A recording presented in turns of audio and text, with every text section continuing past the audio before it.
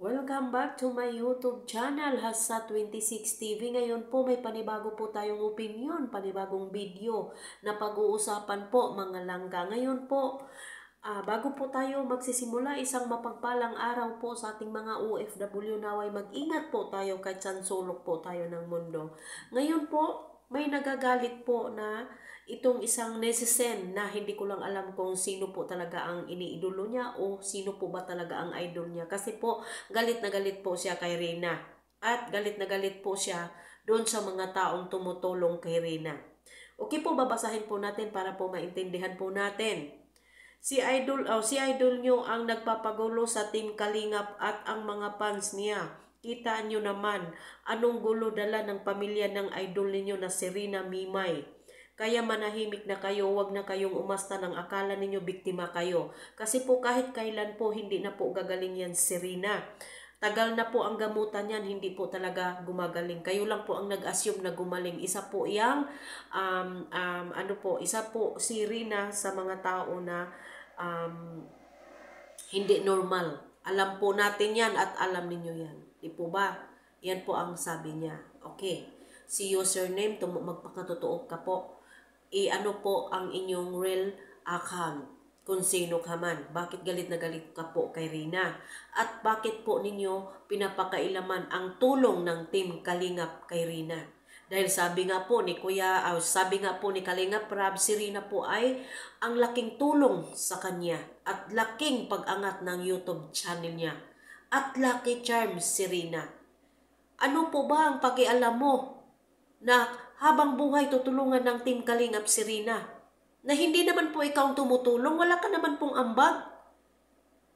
At yung mga solid fans ni Rina, wala ka nang magagawa, hindi mo sila mapipigilan kung tutulungan ng habang buhay dahil hindi mo naman po pira yan. Diba? Diba username? Hindi mo pira yung itinutulong ni Rina. Bakit po ba nagkakandalaiti ka sa galit kung mga maraming magtutulong kay Rina at maraming hanggang ngayon maraming mga sponsor si Rina? Ano po ang problema mo? At kung mayroon man pong problema si Rina, sila-sila lang po yan nagsusolve. Diba? At wala kang karapatan magsabi ng mga ganyang bagay kasi nga po, bilang isang mga fans, lumagay po tayo sa lugar, isang putragis ka naman, oo. Sino po ba ikaw para pagsasabihan mo ang Team Kalingap lalong-lalo na po kay Kuya ano ay lalong-lalo na po kay Kalingap Rab na ano na malaking sakrip uh, malaking ano malaking gulo ang dala ni Rina sa Team Kalingap o talaga po ba? Talaga po ba na malaking gulo ang dala ni Rina sa Team Kalingap? Hindi po po hindi po ba swerte ang dala ni, ni Rina sa kay, kay Kalinga Prab. Di ba si Kalinga Prab na po na nagsabi na napakaswerte ni Rina dahil pinapaangat, ang daming pinapaangat na mga YouTube channel dito sa social media dahil kay Rina, lalong-lalo na po kay Kalinga Prab. Si Kalinga Prab na po na mismo nagsabi yan na si Rina parang lucky charm. Tapos sasabihin mo malaking gulo ng uh, malaking gulo dala ni Rina sa Team Kalingap. Saan banda? Ah, ginugulo po ba ni ano? Gin, nanggugulo po ba si Rina? Saan po nanggulo si Rina? Hindi po ba si Rina ay napakaswerte sa mga lahat ng mga YouTuber? Tapos sasabihin mo si Rina ay nagpapagulo sa Team Kalingap? Talaga naman po? Talaga lang po nagpapagulo? O ikaw lang po ang nagpapagulo? Pag nagsasalita ka po, ma'am, user, ayusin niyo po Mapapahiya ka lang, sa totoo lang.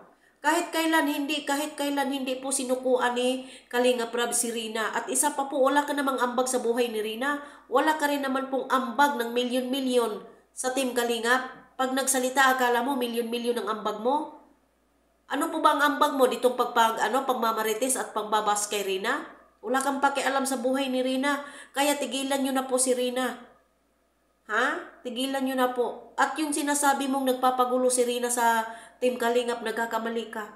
Si Rina po ang swerte sa Team Kalingap. Tandaan mo yan. Ha? Sinasabi ko. Matuto kang ano, matuto kang lumugar kung saan ka. Kami nga eh, nananahimik na nga yung mga fans ni Rina eh. Nanggugulo ka pa.